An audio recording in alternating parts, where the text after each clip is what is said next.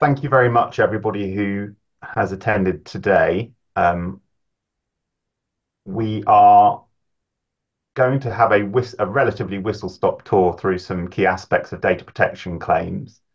Uh, both myself, Ian, and Annie, um, I, I, know, are seeing uh, uh, something of an explosion in this area of the law, and the Information Commissioner's officer, I checked today, reported that between 2022 and 2023, the number of reported incidents to them increased by 33%. So that gives you an idea of the direction of travel. Um, what I would say, however, is at the same time, at least in the county court, uh, judges, in my experience, remain deeply unfamiliar with these cases. Um, and I recall an instance at court where I sit as a deputy district judge in which a GDPR claim was adjourned three times by three full DJs each on quite spurious grounds, which seemed to be quite obviously because they didn't fancy it. And eventually, when it came to me, even though it was only a small claim, it took a full day to hear. And I think that illustrates the fact that these claims, whilst they can be low value, do have complexities which it is necessary to understand. And we'll do our best to walk you through some of those today. So I'm going to start. Uh, and Annie, could I have my first slide, please? Thank you. Um, defendants in, data protection GDPR claims have had real procedural success in confining the scope of the claims in, in three main ways in recent years. Um, the first, which is what I've described there as the kitchen sink phenomenon, is where the claimant complains about a single straightforward data breach, and the courts have strongly criticised the tendency to plead and rely upon multiple causes of action beyond simply a claim under the GDPR or the Data Protection Act 2018. And, and that is because, at least in respect of core data protection principles, other than the data security requirement, which can lead to liability where you've had a third party um, breach, for example, a hacking case, uh, in respect of the core principles, that where the defendant itself has directly or through its employees unlawfully processed information, then in effect, the Data Protection Act and the GDPR give rise to a qualified strict liability under the statute. So there's just no need to embroider the claim with additional causes of action at common law, which add nothing but unnecessary complexity. And, and defendants have had some success in um, in resisting claims and certainly confining them on that basis. Um, misuse of private information is normally, uh, alongside breach of confidence, as you will know, is normally the cause of action that is tagged on to a GDPR claim. It's actually often included as a cause of action because it enables claimants to recover ATE insurance premiums, which they ha um, uh, usually have to pay to protect themselves and there is something of a question mark, as I understand it, as to whether such premiums are recoverable in data protection claims per se, and that's why, uh, at least on one level, they are added in. Um, the, second area where defendants have had procedural success, and I'm just explaining this by way of background leading up to my primary topic, um, is that the courts have deprecated the use of high court proceedings to bring claims under the GDPR or for misuse of private information, where by virtue of their relatively small size and simple complexity, they could and should not just have been brought in the county court, but also on the small claims track. Uh, I would also add this, though, that in increasingly, and this is a point that's been raised by one of the questions which I'll deal with later, we, see a, a, an increasing number of claims where personal injury is included within the claim, and that will almost inevitably result in allocation to the fast track. However, um, the extension of the fixed fee regime to the fast track and obviously now the intermediate track means that in essence, uh, all UK data protection claims, um, unless there is uh, something about it which warrants uh, multi-track allocation, are going to be subject to fixed recoverable costs. And therefore, there is an immediately something of a disconnect between the value of these claims and the costs that it might take to bring them to court and which will be recoverable. Um, the third area where defendants have had procedural success um, is the one that I want to focus on, and that is the a de minimis or threshold of seriousness. And Annie, could I have my next slide, please? Um, the the sort of zenith uh, of the defendant's victory here came in a case called Rolfe and Wasbrough Vizards from 2021.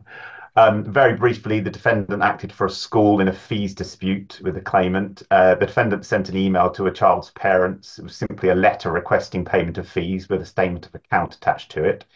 Um, the sender of the email mistyped the email address and it was sent to the wrong person. That person responded very promptly, saying that they thought the email had been sent in error. Defendant asked them to delete it. They deleted it within a matter of hours.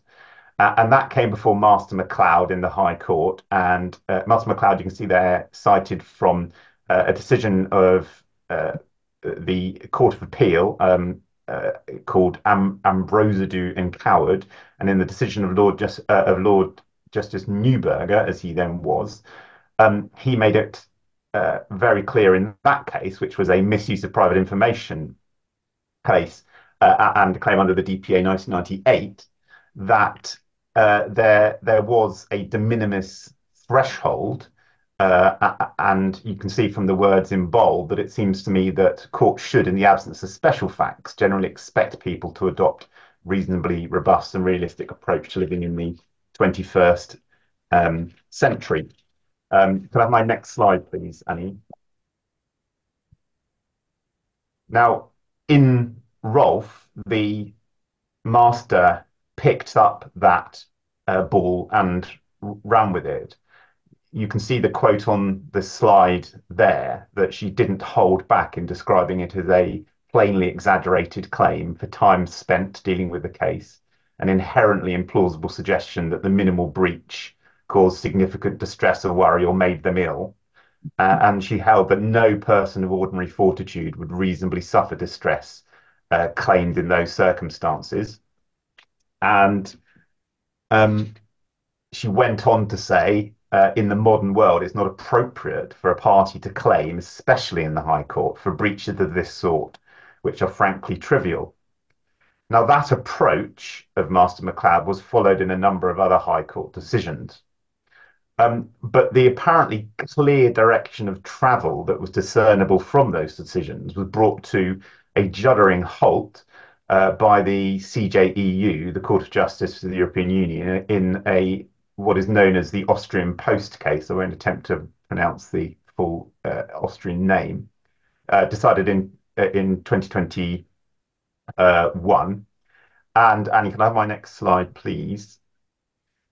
What is interesting about this case is that, as in all CJEU cases, the Advocate General gave his uh, opinion first. And he concluded that there should be a de minimis uh, threshold applied in GDPR claims. And that led to a sense of optimism amongst defendants in this country that the approach in domestic case law would be followed at a European um, level. And you can see his reasoning on the screen there, uh, drawing a distinction between trouble and inconvenience and real non-material damage for compensation. Um, however, uh, and could I have my next slide, please, Annie? In a relatively rare step, because the Court of Justice only departs from the Advocate General's cases, it is generally understood in about 20% of uh, the cases before it. So, in a relatively rare example, the Court of Justice uh, disagreed with the Advocate General. Um, their reasoning, uh, as is often the case, is a little bit convoluted, um, but it's really the second paragraph there uh, which makes the point that they were concerned that if a threshold of seriousness were imposed uh, in this sort of case, that would lead to inconsistency as between the different member states because they would be free to uh, determine exactly what seriousness meant in any given case, and that would undermine uh, the coherence of the rules established by the GDPR, which should be applied consistently as between EU member states. Now, that decision actually, I said 2021, it was actually handed down on the 4th of May 23, forgive me. And the importance of that is it was after the UK left the European Union after Brexit. The result of that is that it is not a binding decision on uh, our domestic courts. They can have regard to it, but equally they are freed to disregard it in their discretion. Um, the Austrian Post case, however, is not necessarily the final answer. Um, Annie, can I have my next slide, please? We have a recent decision of uh, Mr. Justice Nicklin in a case called Farley and Paymaster. Now, Farley and Paymaster is a case that Ian is going to speak to you about in some detail um, later, so I'm not going to go into the facts of it. But uh, you can see the full quotation from the screen there. Mr. Justice Nicklin had heard full argument on the uh, um, de minimis point before him in the case. Ultimately, he um, ducked the issue by finding that it wasn't necessary for him to reach a concluded view on the issue in that case. But importantly, as you can see from the screen, what he did hold is that um, whether each claimant could surmount a threshold of seriousness is a factual question that, like the similar question that applies in misuse of private information claims, can only fairly be resolved at trial. And so, my understanding, at least, of what he's saying there is that any argument going to threshold of seriousness or de minimis is not appropriate in most cases, anyway, as uh, a strikeout argument or a summary judgment argument because it does require a full analysis of the facts. Now, I'm going to double qualify that, however. Farley and Paymaster was not a straightforward case. In the far more straightforward cases of the sort that I've described, such as the Rolfe case, it might well be possible to take that argument uh, on a summary uh, basis. But uh, at least in more complicated cases, uh, it will not be. So the upshot of all of that is that defendants should not be afraid to continue to raise the point, notwithstanding the Austrian Post case, but it, because it doesn't resolve the issue and it's not binding. And equally, claimants should be ready to meet it, deploying the Austrian Post case as a, a, a, decision of the European Court of Justice, which is uh, certainly influential, if not binding but the point remains unresolved. Um, we had a question before the seminar, uh, and the question was if no real harm is proven, can we settle for zero and thus avoid paying any claimant's costs? Um, really, uh, the answer to that depends upon, as I've indicated, whether English law has the de minimis threshold or not. Uh, because what does no real harm mean? I think it has to be recognised that because distress is specifically compensatable under GDPR claims, you don't have to prove a personal injury. Uh, by definition, many, if not most, but many data protection claims will not involve significant harm. Um, and it's only if that harm falls into the category of trivial that the de minimis argument is really going to become available because distress by itself is is rarely uh, significant compared to something like a personal injury, and yet it is plainly on any authority compensatable under the GDPR. Um, so I hope that goes some way to answering that question. My next topic, which is much shorter, and Annie, if I can have my slide, please, is the assessment of damages. And I just wanted to draw out five core points in data protection claims. The first is that even though claims for uh, misuse of private information were born out of Article 8 of the uh, European Convention of Human Rights. Uh, the Court of Appeal has held, in a case called Various Claimants and MGN, that the measure of damage and the assessment of damage is more naturally a question for English law, and it is unnecessarily and unhelpful to have regard to Strasbourg case law, so that's to say ECHR case law. And similarly, the CJEU in the Austrian Post case said that even though there was no de minimis threshold, the assessment of damages under the GDPR is entirely a matter for domestic law of the different member states. And so this is really a, an area where English law is going to have to develop its own set of rules and uh, uh, uh, principles as to the amount that is appropriate to be awarded without reference to any awards that are made uh, either at the European Court of Human Rights or the Court of Justice. The second point is that information rights don't have a special protected status, which requires a higher award than other forms of damage. Uh, and again, in the various claimants and MGN case, what uh, Lady Justice Arden said is that damages in consequence of a breach of a person's private rights are not the same as vindicatory damages. Um, and damages are simply an award to compensate for the loss of or diminution of a right to control information and for the distress that could be felt as a result. So there, there's no element of uh, treating them uh, as inherently aggravated or um, vindicatory. They are simply compensatory damages.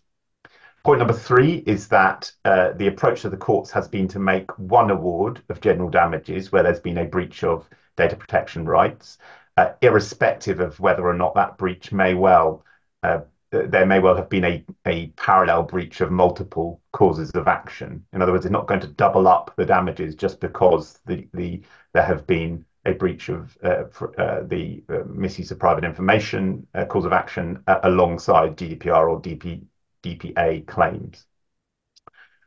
The fourth point is something that I'm sure you're familiar with. Uh, it's that whilst it's possible to claim damages for mere loss of control in claims for misuse of private information, that is not possible in a claim under the GDPR, where where some element of loss uh, consequential loss has to be proved, even if it's just distress. And so, where the unlawful disclosure or, uh, of information was caused by a third party, such as a cyber attack case, the courts have made it clear that that cannot be a misuse of private information because misuse of private information actually requires some positive act by the defendant. And in that scenario, it will have been uh, an omission that led to the cyber attack, if anything. And therefore, that sort of claim can only be made under the GDPR. And in that sort of and a GDPR claim, there has to be actual distress or injury, not simply a, a, a loss of the information. Finally, um, the court, again, in the various claimants' case, made it clear that decisions in other areas of the law, particularly personal injury, should operate as a sort of sanity check. And if a, a award looks out of line with personal injury claims, then it might have to be tempered. And what Lady Justice Arden said there is that if it were otherwise, um, then uh, uh, it would bring the law into disrepute and diminish public confidence in the impartiality of the legal system.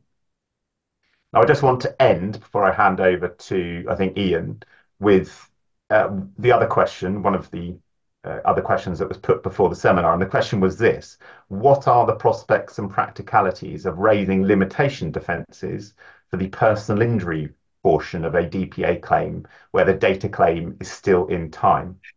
Well, I'm, I, I assume that's a, question by a, a, defendant uh, lawyer, and I'm pleased to be able to report that there is a good prospect. And that is because of the specific wording of Section 11 of the Limitation Act. What Section 11 says is that this section applies to any action for damages for negligence, nuisance, or breach of duty where damages claimed by the plaintiff for the negligent nuisance or breach of duty consist of or include damages in respect of personal injuries. And there is direct authority on this point called Azaz and Denton. So that's Azaz and Denton 2009 EWHC 1759, where the High Court held that if there is any personal injury claim included within a mixed claim, then the three year period applies to all aspects of the claim, not just to the personal injury part of the claim. So the answer to the question is that if you have a data protection claim where personal injury is included, then a three-year limitation period applies. Um, I hope that was helpful, and I'm going to hand over to Ian. Thank you. Uh, thank you, Jack. Um, what I um, hope to do is have a very quick look at three um, relatively important cases. Certainly, the first case um, I, th- I, think is very important. Um, all um, good defendant cases, um, and it really gives a sense of, I, I, think, the direction of travel and the way the courts are approaching um, these sorts of issues. So, can we have the first slide, please? there we go. Farley, Jack's already mentioned it. Um, arises out of a relatively common um, set of circumstances in these sorts of cases. That being, um, somebody sends a letter or an email to the wrong person. Um, now, in Farley, what we have is the defendant paymaster um, look after the pensions um, for Sussex Police, and they um, send out an annual pension statement. But in, in this instance, they sent out um, 450 pension statements to the wrong address. So they were the former residential addresses of either serving or former police officers. it gets to a hearing, I think, in February this year, and um, the claimants at that stage had come down on the valuation of the claims and say that each um, claim is worth about 1,250 to 1,500 pounds based on the sending of these letters, which contain um, pensions data, um, names, addresses, things like that. Um, despite the relatively low level of the um, individual potential damages, the pre-action costs had already come to something like 1.2 million pounds, which um, the defendants rather um, um, took an intake of breath at. Um, and if we could go to the next slide.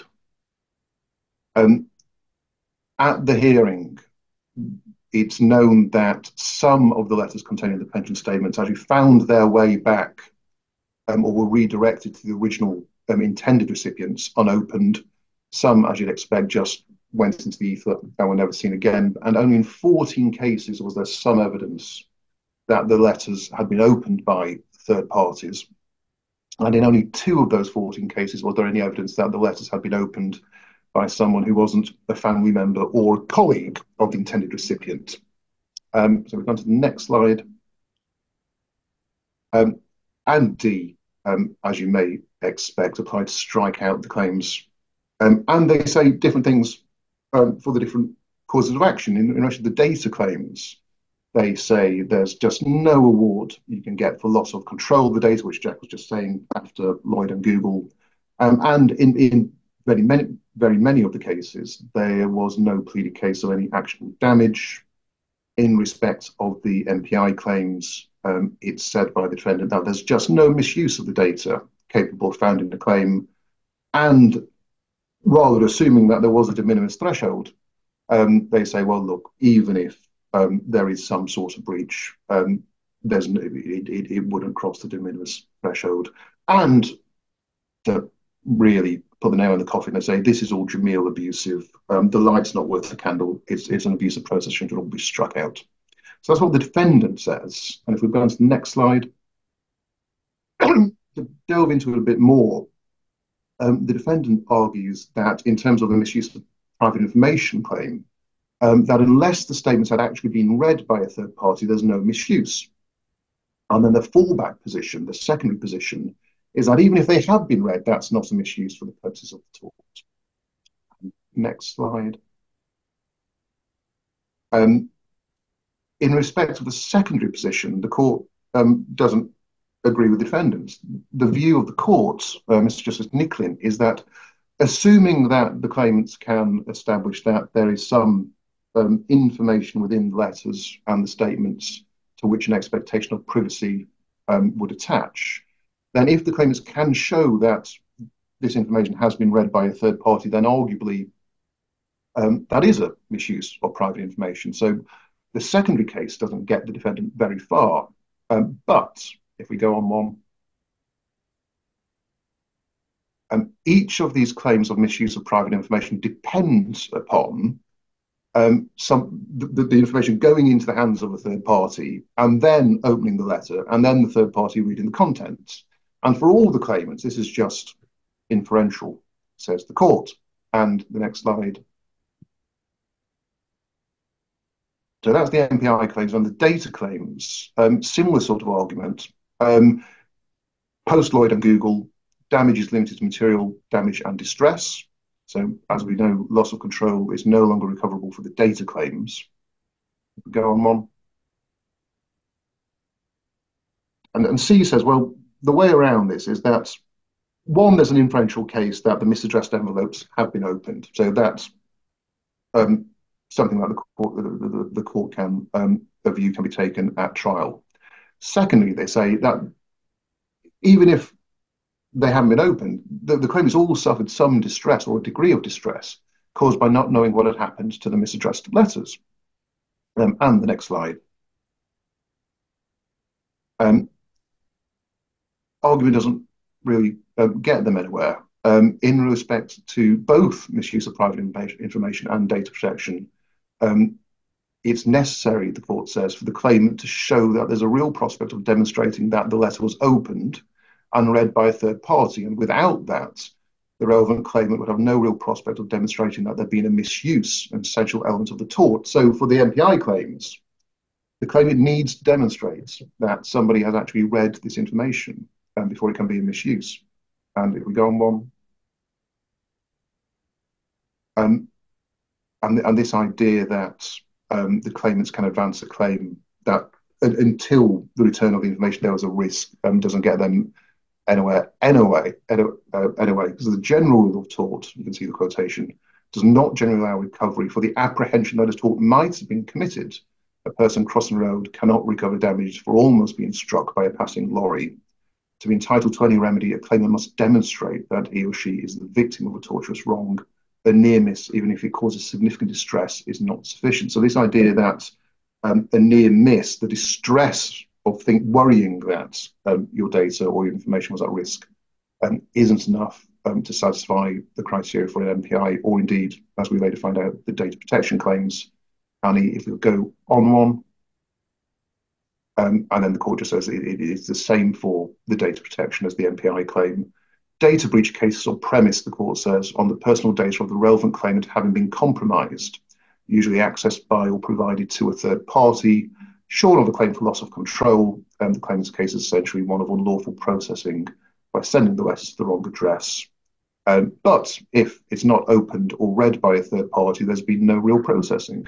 Um, it's near miss, and that's not enough for a data protection claim in these circumstances. So if we go on one more, please um, you, you get to the situation where the court seems to be saying that in these sorts of cases where letters are misaddressed or emails sent, unless there is some sort of evidence or, or, or compelling argument why it can be said that the unintended recipient has actually read the information, that's not, um, according to Mr. Justice Nicklin, um, a, a, a, processing for the purpose of the Data Protection or misuse of private information for the purposes of an MPI claim. Um, that said, of the 14 cases where there was some evidence um, that the letters had at least been opened, um, those were allowed to proceed. Um, but it was noted that there was still um, an evidential hurdle um, that someone actually had to read the letter, not just have the envelope opened. but that's a matter for trial, the court thought. And if we go on one more, please.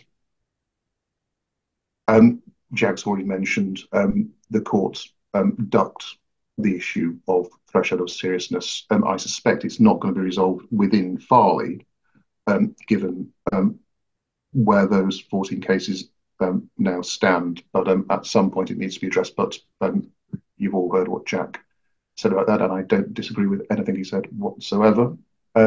Next slide. Uh, Jameel abusive. That argument rather went by the wayside now that um, the 450 claims were whittled down to 14. Um, there, there's an interesting discussion about what should happen to those 14 claims. Um, either remit them to the county court and possibly the small claims track. Um, there is a suggestion within Farley that um, because the defendant was saying that they weren't a data controller, they were the data processor, that one thing that could be done is that the 14 cases stay in the High Court, have that determined as a plenary issue, um, but um, that's all stuff for another day, and um, perhaps the parties will take stock um, now that they face a rather different set of claims than they had originally done. Um, so that's probably really important case, really interesting case, really helpful case for defendants. Um, moving on to another interesting case. There we go. There's the former president and possibly next president of the United United States, Trump and Orbis. Um, Next slide. Just wanted to show everybody Mr. Trump there.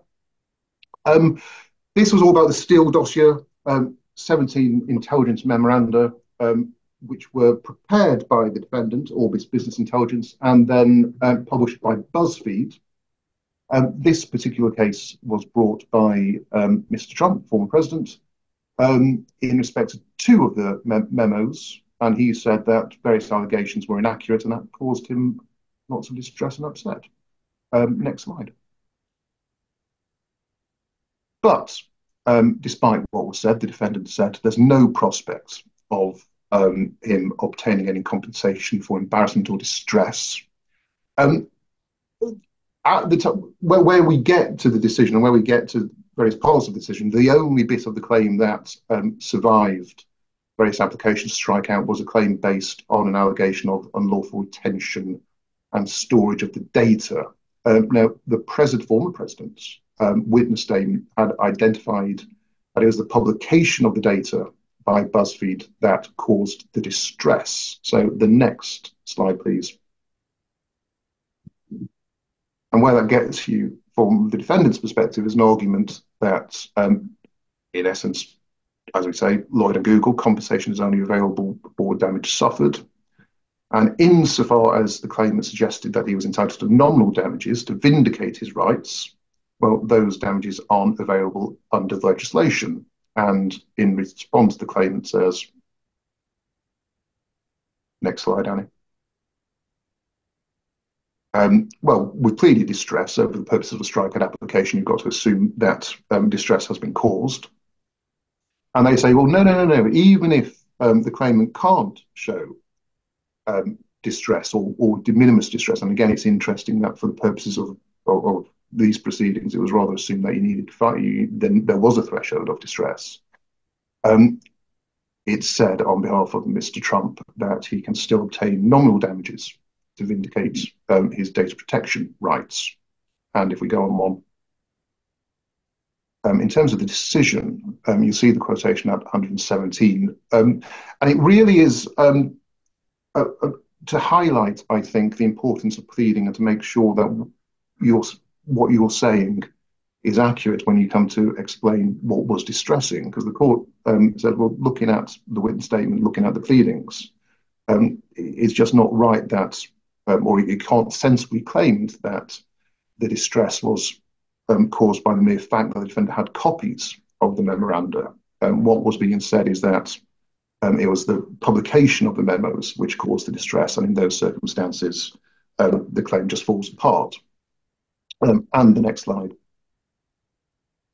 Um, nominal damages, this idea of nominal damages, um, it, it is inconsistent with Lloyd and Google, the court says. Um, uh, and you see the Supreme Court held that there's no entitlement to compensation under what was the 98 DPA based solely on proof of a non-trivial contravention of requirements of that act in relation to any personal data. So going on Ron, please. Um, it's just you just don't find it in the statute um, an allowance for nominal damage. Um, and then the court says the claimant's contention is that in respect of this statutory tort, he has a right to a remedy that is not in the legislation, namely a right to nominal damages. That's the wrong approach. Parliament has created both the cause of action and identified the available remedies. It is not for the court to su um, supplement the statutory remedy of compensation with a non-statutory remedy of damages. And going on one, this idea that um, is canvassed by the claimant that nominal damages are always available is just is just out and out wrong.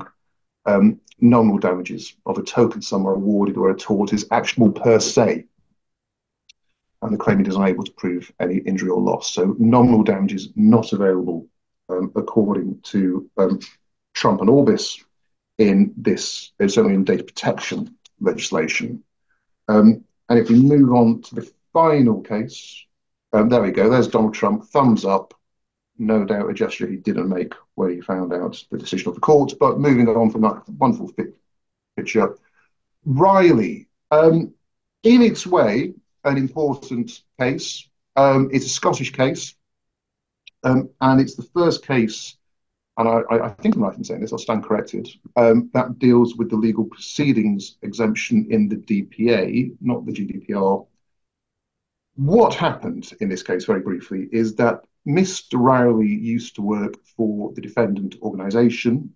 The defendant was sued by somebody else, and in the course of those proceedings, the defendant disclosed um, various uh, bits of information about Mr. Riley. And Mr. Riley was referred to in the judgment, and a local paper picked up the case and referred to Mr. Riley a couple of times in an article. And Mr. Riley, either rightly or wrongly, wasn't terribly happy about this and sues his former employer.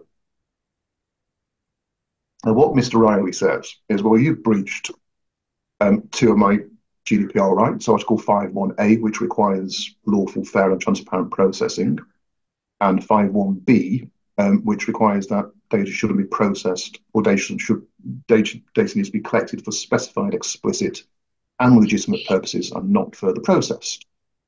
So that's my they're my causes of action, says Mr. Riley. And if we go on one,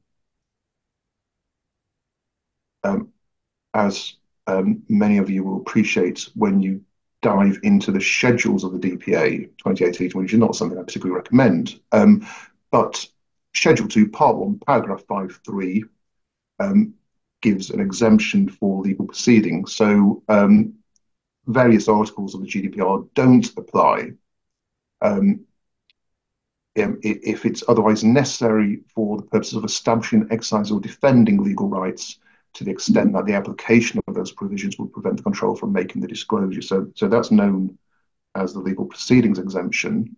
And if we go to the next slide, um, what the claimant argues is that um, the effect of that exemption means that the data controller had to attempt to apply the provisions of the GDPR, uh, so um, fair lawful processing and so forth, before they seek to apply the exemption. So you've got there's a stage that needs to be gone through.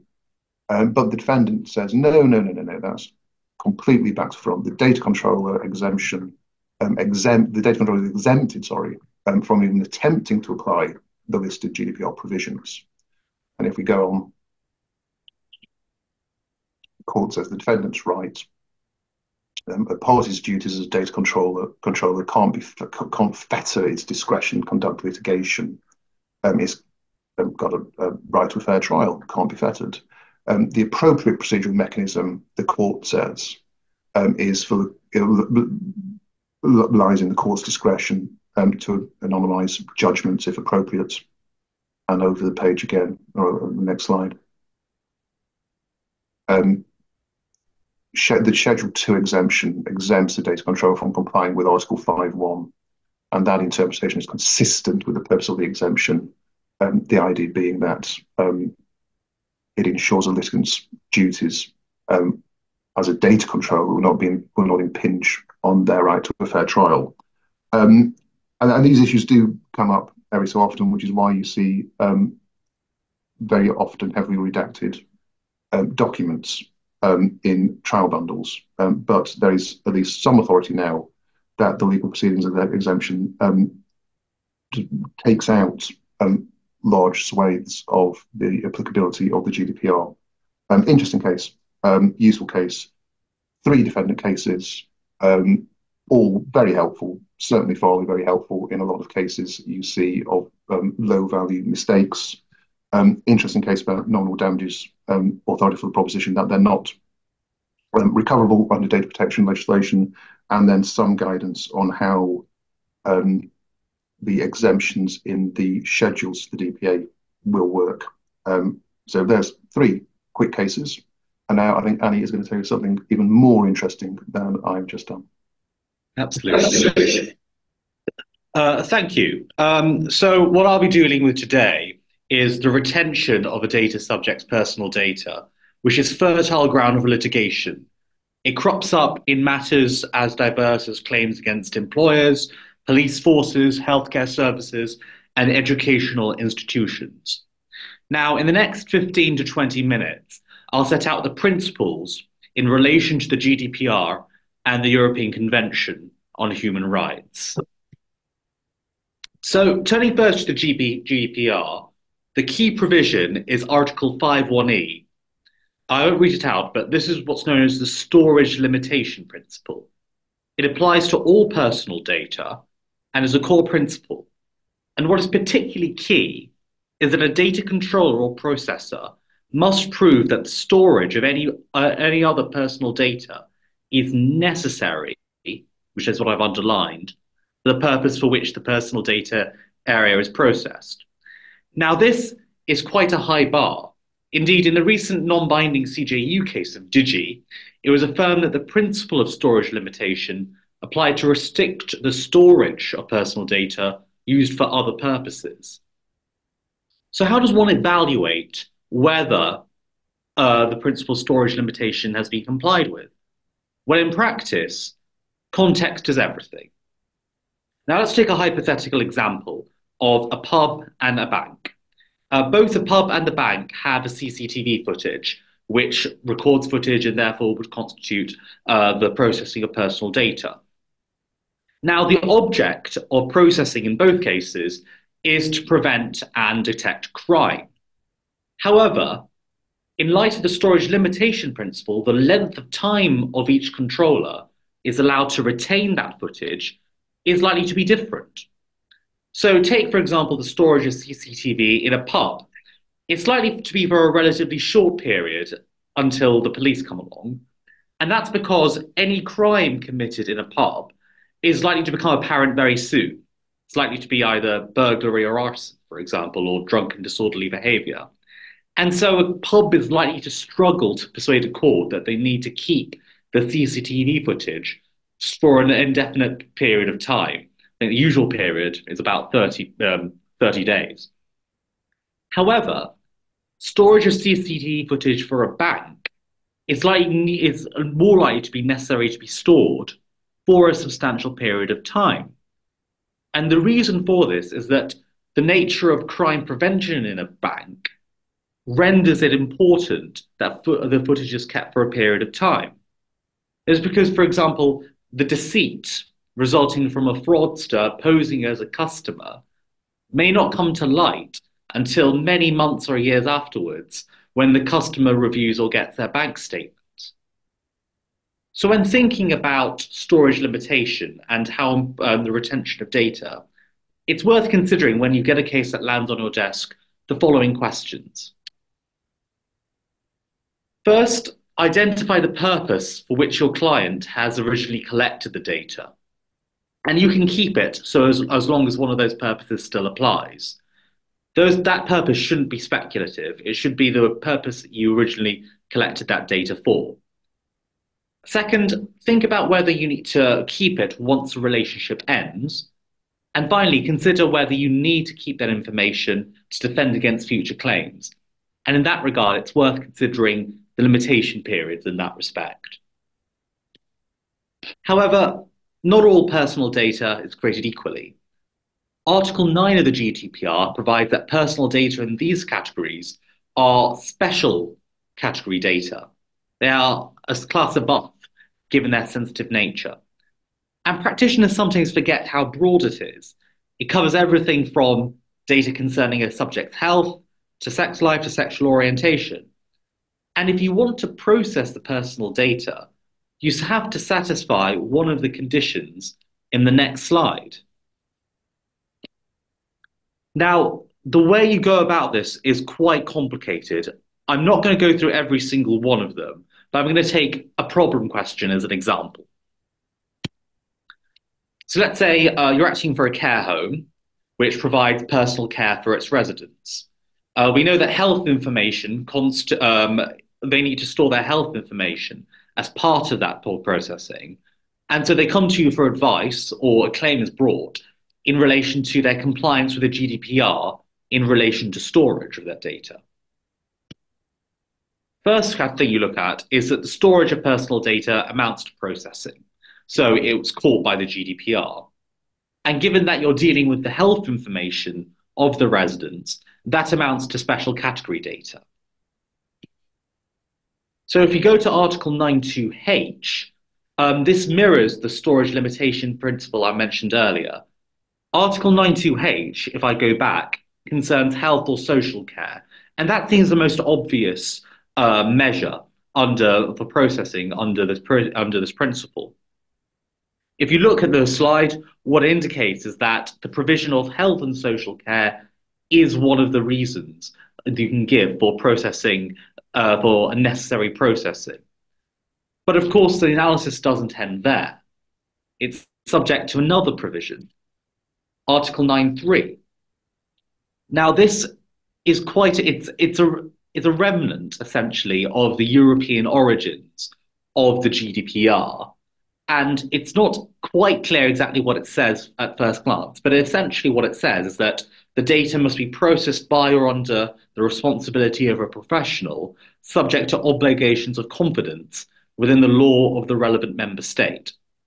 Now, how you work out what the law of, the of what English law then replicates is to cross-reference the GDPR with the relevant provision in the domestic statute. So therefore, you have to leave aside the GDPR and then go to the Data Protection Act 2018.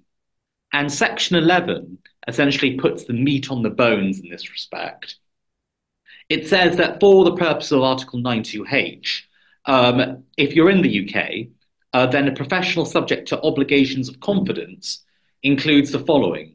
It includes a healthcare professional, a social care professional, or someone who in other circumstances owes a duty of confidentiality. But that then begs the question, what is a healthcare worker, healthcare professional? And for that, you have to go all the way to section 204 of the Data Protection Act and look at the interpretation provisions. I haven't set it out in full because there are a number of different professions which come under healthcare professional. But essentially, you need, in order to prove that you are a healthcare professional, you need to look at this statutory provision. And eventually you'll find what there's a list of what constitutes a healthcare professional and a social care professional. So after that quite sort of long-winded talk, the answer really is yes, so long as the data is processed or is subject to the, subjected to the responsibility of someone who falls within one of the categories in Section 204 of the 2018 Act, or is subject to a duty of confidence under any enactment or law. Moving on now to the ECHR. The critical provision is Article 8 of the ECHR, the right to privacy. Now, the ECHR is likely to be more used in these sorts of cases simply because you don't really run, you're unlikely to, if you're acting for a claimant, you're unlikely to run into any limitation issues. Because if a party has stored the data, then that breach, as you say, it is likely to go on, be ongoing. Now, this right is a qualified right and it's subject to interference. The well established test for assessing interference is that set out in Bank Mellat for assessing proportionality. I note here that in matters concerning the retention of data, it's very likely that the first two criteria will be filled. It's the latter two which really strike at the heart of whether a public authority has undertaken a proportionate measure in retaining that data. Now, most of the case law in this field concerns the retention of criminal records or criminal allegations by the police. This was described by Lord Justice Beatson as a particularly sensitive and difficult exercise because the police, in recording that data, essentially have to deal with a number of competing issues in most, if not all cases, it's very likely, it's almost certain that there'll be found to be an interference with Article 8 of the ECHR. Uh, the authority for that is Catt and Chief uh, Police Officers, where Lord Sumption remarked that even the collection and storage of public information amounted to an interference with private life. Um, to give some context to this, uh, Catt concerned the retention of records of participation in political demonstrations by essentially Mr. Catt in demonstrations going back to 2005. Um, they lost in all of the domestic courts, but ended up succeeding against the United Kingdom in the European Court of Human Rights on the basis that the political data was politically sensitive and there was no pressing need to store the data beyond the six years. Now, the jurisprudence on this point really concerns different applications of what constitutes a proportionate measure each exercise is fact specific. And so I won't go through each and every single one, but there are a few points which are worth considering. First, uh, the length of the period is especially important, albeit not decisive, when considering proportionality. For example, in S and UK, uh, this concerns the indefinite storage of fingerprints and DNA data on individuals who are suspected of an offence, but which ended with discontinuance and acquittal. Uh, the European Court of Human Rights found a violation taking account in particular of the indefinite nature of the storage. But of course, in many cases, it will be proportionate to retain crime reports of offences for long periods of time, in particular, where those offences raise public protection issues. And this is because, in general, the interference with a subject's Article 8 rights is likely to be modest, whereas there is likely to be a compelling public interest in retention. And uh, a prime example of this is the judicial review of CL and Chief Constable of Greater Manchester Police. Uh, this concerned essentially uh, the retention of crime reports, criminal reports, relating to the exchange and dispersion of sexual images of um, underage girls. Uh, it also involved allegations of coercion. Now, the storage of this data was challenged principally and largely on the fact that the claimant at this point was a child. However, the court identified a number of factors which militated in favour of the defendant. First, the fact that the, the reports had identified multiple incidents of alleged criminal behaviour. And this fed into the need to identify patterns of behaviour which would assist in the future investigation, prevention, and detection of crime. Moreover, while of course there was a need to act in the best interest of the claimant, there's also a need to balance that in relation to the best interests of the other young people whom he's surrounded and the other young people who he's alleged to have abused. Now, one point which does run through the judgments as well is the importance of compliance with authorized professional practice by the College of Policing. Now, this authorized professional practice includes, for example, trigger reviews every 10 years to review records, and it forms part of the legal framework that was discussed in Catt. Compliance with the authorised professional practice can really substantially fortify a chief constable's claim that their policy is proportionate. Alternatively, non-compliance with the authorised professional practice is likely to undermine any such claim. So a prime example of this is the recent judgment of AB and Chief Constable of British Transport Police, um, this was a claim brought against the, uh, the police in relation to a recorded allegation of sexual assault, but one which was later found not to be correct because it transpired that it arose out of um, there was a misunderstanding as to the nature of a disability and whether the allegation could continue to be retained. And this is particularly in circumstances when allegations under the Sexual Offences Act are normally kept until the alleged offender reaches the age of 100. Um, the trial judge essentially found that it was disproportionate, and Mr. Justice Johnson uh, didn't interfere with the proportionality analysis. But he did note, in passing and in particular, that there had been systemic failures of the police authority in failing to conduct those 10 year reviews of the data. And he also said, importantly, the mere fact there's been a lack of resources was insufficient. And that's what really tipped the trial judge and what uh, came within the reasonable bounds of Mr. Justice Johnson's discretion into finding that it was disproportionate and the claimant had a claim under the ECHR. So ultimately, if you're acting for the police, the critical point for any proportionality assessment is evidence. Now, reliance on guidance from the College of Policing is important to build up that evidence base, as well as other policy documents. It's significantly likely if if you complied with the policy and were able to deal with it in that sense, that a challenge would fail. And that essentially concludes this presentation. We've got a few minutes left, and I appreciate there's some questions. I don't know if they've been answered or not. Um, Hi, it's Jack speaking again here. I've answered one of the questions uh, in writing in the question box, and I don't know whether the questioner has seen my answer. uh, just very briefly for the sake of everybody else, the question was, is distress classified as personal injury for the purposes of limitation or would a six-year limitation period apply?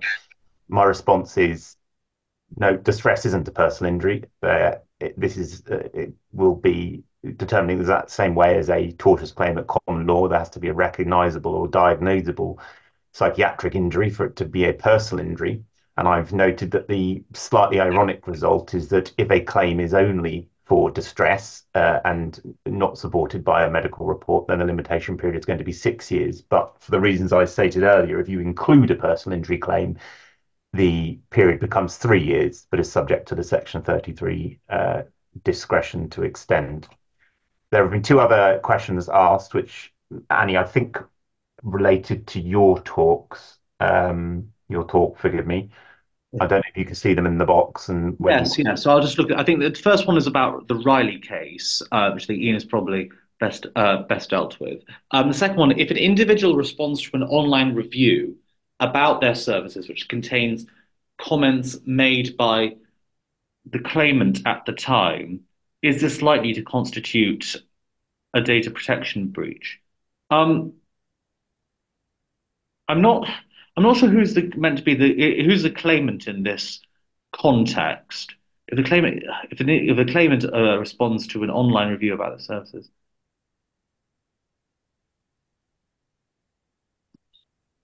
I think, uh, um, unfortunately, I think if you uh, the, I don't think I'm able to answer that at the moment. I think uh, I, I recall, for example, I don't want to start guessing or speculating um, there may be uh, a useful parallel with uh, defamation case law in respect of online reviews and what you can and can't say in that respect. But again, I don't have that off the top of my head and I don't want to speculate. But I think the defamation case law would, I think, be a really good starting point in assessing assessing that, along with further information as to the nature of the comment and the precise allegations made.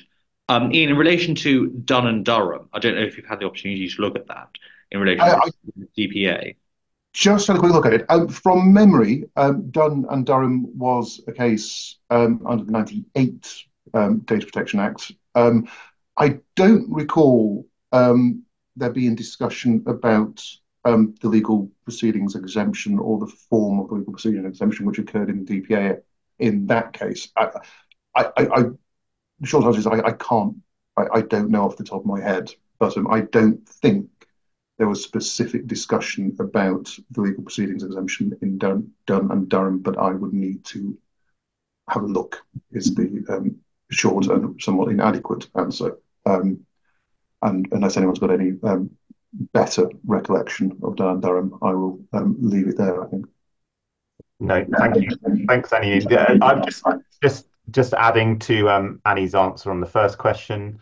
Um, as I understand it, the question is whether or not where someone responds to an online online review and in doing so includes information given to him by someone who becomes the claimant is that a data protection breach um, applying misuse of private information it would depend upon whether the information was given to the person replying to the review the defendant in circumstances where the claimant had a reasonable expectation that it would be kept private and obviously that's going to depend upon the individual facts of the case. Um, so I, I think that deals as best we can with those questions. Are there any other questions that anybody would like to answer before we bring the seminar to an end? If there are, please um, put your hand up or or type them in now. And if if you if there's anything else, then um, please do not hesitate to contact uh, all or any of mm. us on our email addresses. Don't think we have any more questions. Oh, go on. That's very excellent. Thank you. very kind, anonymous. That's a very question. That's very kind of you. Thank you very much. So I think we'll we'll wrap it up there. Can I thank you all again for attending? I hope it was useful. Um, and um, this is obviously a, a, developing area of the law. I suspect this will be won't be the last time we're doing a seminar on this issue. Perhaps this time next year we'll have a further um, uh, go mm. at and see where the, the law is at that point. But thank you all again for coming. Thank you. Thank you, everyone. Bye bye.